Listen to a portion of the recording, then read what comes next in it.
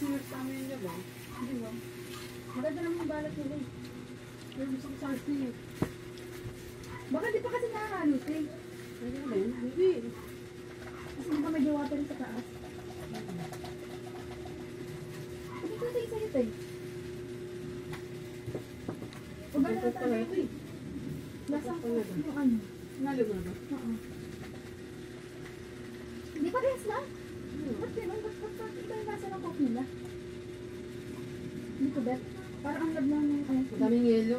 Ah. Madaming yelo. Okay lang, eh. Hmm. Ba't ganyan?